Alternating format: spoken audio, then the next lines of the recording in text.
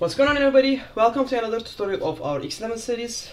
At the latest tutorial we've just made a simple buggy uh, paint program. Now we are going to enhance it a little bit more. Uh, however, as you remember, uh, when we last did it, uh, we've disabled uh, resizing this window because whenever we resize the window, all of the drawings that we have done uh, will be gone. therefore, for now, we are just going to make it a fixed width window and after that we are just going to solve the bugs of this in like uh, three videos or something like that. So uh, in this video we are going to add new colors for our drawing program and I think I'll just use blue. So instead of uh, black we are going to use a blue line for this. And uh, to be able to do it we need to include a new library which is the XFT library free type library. So I'll just uh, copy actually this paint program and let's just say this is paint.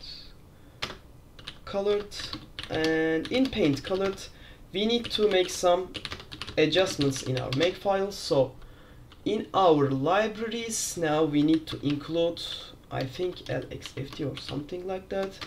And we need to uh, add its flex too. So what is the flex for XFT uh, so I think it's a little bit long. Therefore I think I'll just do something like this. So pkg-config uh, cflags and what was that? Xft and I'll just set this program. So now paint.c uh, now let's just include our new libraries. So include I think it's an x11 yeah xft and xft dot, dot header. Uh, by the way uh, i need to tell you something too. So i'm making a auto compile commands.json generator uh, because sometimes some uh, libraries may differ in locations. It may not be on default path. Actually let me just show you. So as you can see now my c program isn't complaining about anything. However if I just remove this compile commands.json and open my C program again, as you can see, I have an error in this uh, x11 xft.header uh, because it's not on my path. So to be able to overcome these errors, just uh, use clangd to generate, use some program to generate compile flags.json. And I just have an auto command for this. If I save my makefile, it will automatically generate my compile commands. Alright, so let's continue. Uh, we need to actually make some differences in our paint program too, so it will be paint colored actually. And now our, our paint.c will be paint color.c. Alright, nice. So let's try to write it now. So I'll just define a new color here, and let's say it will be blue, and I think this is blue. Yes, this is blue and uh, let's just make our visual uh, top level declaration. So static um, visual pointer. So let's go to with and where should we create it actually? Let's just create it on our main. So just after main window I'll just get values of our visual. So default visual our display and screen. And I think in create window we've used the default visual here. I'll just delete this and replace it with our top level declaration visual. Alright so nice. So let's continue. So to be able to create a color let's just make it a top level declaration for now again. So actually let's we can define it in our main program I think. So GCGC, the struct's name is I think xft color. And let's just say this this is color underscore blue. And uh, actually we need to allocate member for this because we are creating a pointer of it obviously. So I'll just malloc and size of xft color. Alright nice. So let's just write a new function now and this will again be static function and let's just say this create color uh, however I don't remember the exact uh, parameters which we are going to need. So I think it's xft color alloc name. Yeah, this is it. So display, uh, visual, color map, uh, our name and result which will be our xft color. Alright, so cool. So I think we are just going to need uh, one parameter in here and that will be xft color pointer our color blue and we are going to need its name so I think it could be a const char pointer name alright so cool so now uh, we need to try to allocate our colors. So if not uh, xft color alloc name and our display. So default visual. So color map. You can just check this but I'll just use the default one for now. And name will be name and result will be our color blue. So why did I write this in an if branch? So if we can't allocate color we are just going to throw out an error obviously so rx1 and let's just say can't allocate color and after this oops I didn't write the function name so I think yeah this could be a void function. And after this uh, I want to show you a trick.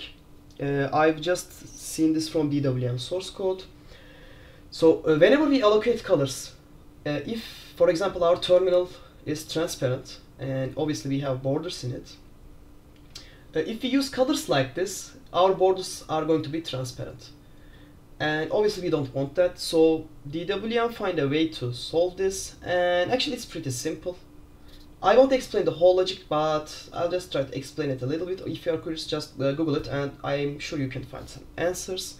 So now this color blue is uh, initiated and it has two parameters. So the first parameter is our color blue dot uh, color and pixel. We are going to use the pixel one and we are just going to OR it with uh, 8 bits shifted by 24 so if you do something like this uh, the transparency won't be seen on your uh, terminal window. Therefore the borders will be uh, fully uh, opaque and the terminal will be transparent if it is transparent if it's not it doesn't matter actually or if you're not using any transparent programs, you can just uh, comment this out if you want, but I won't do it for now. Alright, so let's continue. So now we have our create color function, and we need to create our color before we create our graphics context. Uh, because in our graphics context, uh, we are go we set our uh, foreground to black pixel. We are just going to change this foreground here. Uh, also, now since we are going to we created our uh, XFT color in our main program now we need to pass it as a parameter for our graphics context so this will take one parameter XFT color and let's just call this foreground actually it makes sense so uh, before our graphics context we can create our colors so what was the function actually create color I think yes so color blue and what's our name? It's blue, obviously. Why is this giving an error? So it will be blue. Did I just...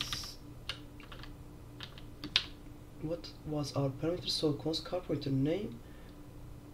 And I think it should work so alright so let's just do something like this it doesn't matter actually let's just say that const char pointer uh, color name and that will be equal to blue oops I've just forgotten this here guys. I'm really sorry. So I think we won't need this actually. So I'll just delete that one. And in our create color function we are just going to pass our color blue and our string blue. Alright so cool. And in our graphics context I'll just pass our uh, color map for that. And now in our create GC function we need to do something because uh, we need to change our foreground now. So our foreground will actually not black pixel now and it's just pretty simple. It will be foreground to pixel. So uh, this sets foreground foreground to uh, I think we are good to go now so let's try to run it now. So let me move it. And as you can see we have successfully drawing blue lines for now so what else can we do? So for example if mouse button 2 is pressed uh, actually we can revert our uh, line to I don't know like uh, we can swap it between black and blue. Actually we can do something like that. Uh, alright so let's try to do something like that to be able to beautify a program a little more. So if our case is button press and if it is button 1 we are going to draw a point. And else if our uh, button is not button 1 but button 2 uh, we are going to set actually we need a boolean value for this actually. So let's just do something like this.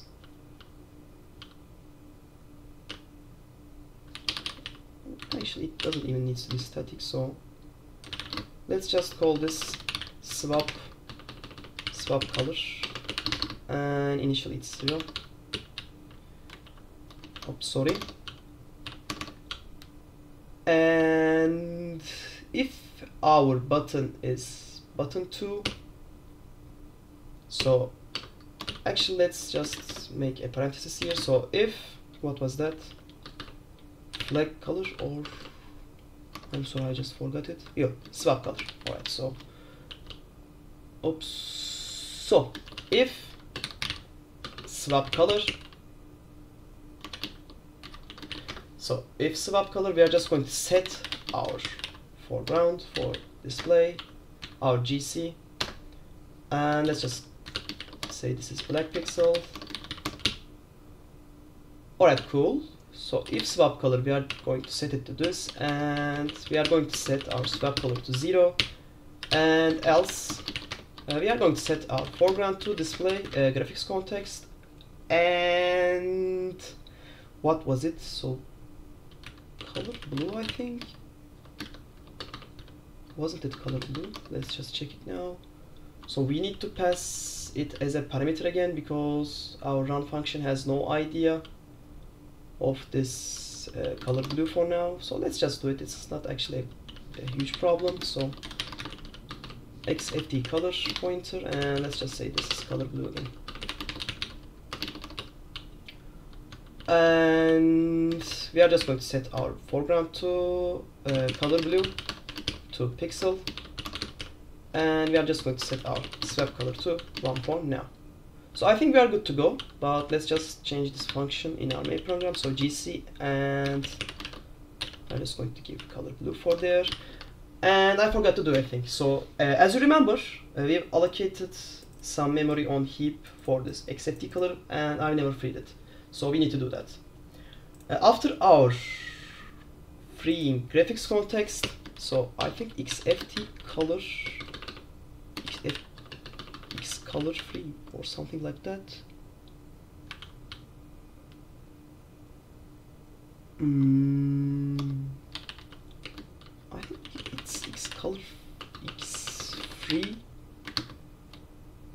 X free yes so X free or XFT free I'm not sure.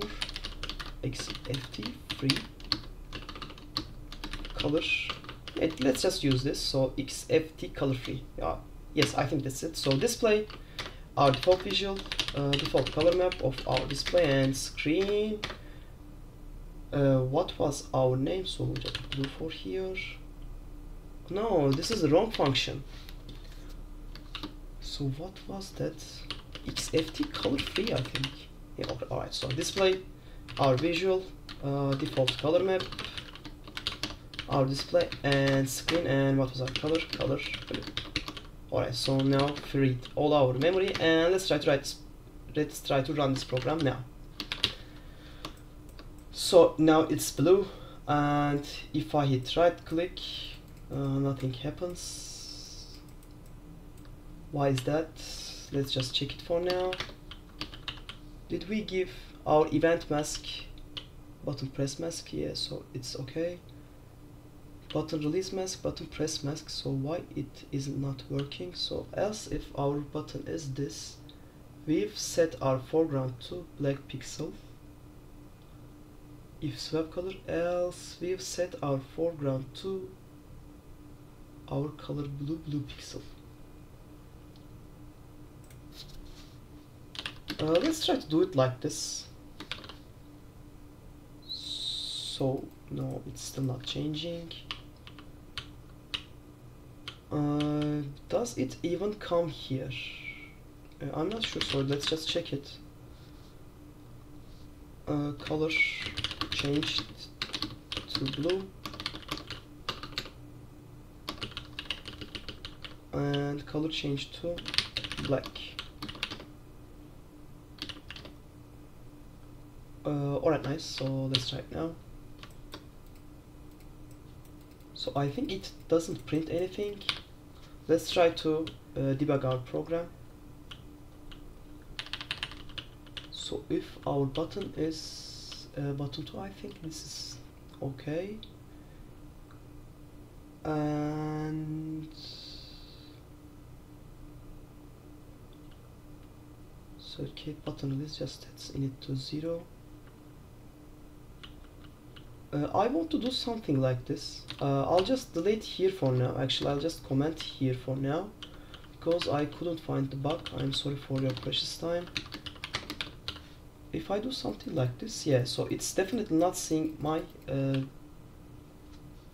button 2 yeah so because uh, I'm an idiot guys. Uh, I'm pretty sorry. Uh, I forgot to even I forgot it sometimes. Button 3 is our right click in X11 therefore this is not working because I was pressing my right click for that. So it will be button 3 for right click. Button 2, to, button 2 was middle click. I'm sorry I think I'll delete these lines too because I think it will work. So cool. Yeah. So it's uh, working pretty good now. Whenever I press uh, button 2 it automatically changes my uh, color. It swaps from black to white uh, black to blue. I'm sorry and I'm sorry for this little bug. And in the next video I'm thinking of doing something like this. So we are going to put some uh, new windows here. So one two three or some windows there. And whenever we click that window we are going to change our color uh, for to whichever color uh, that it's currently using. So uh, see you guys in the next tutorial. Uh, take care guys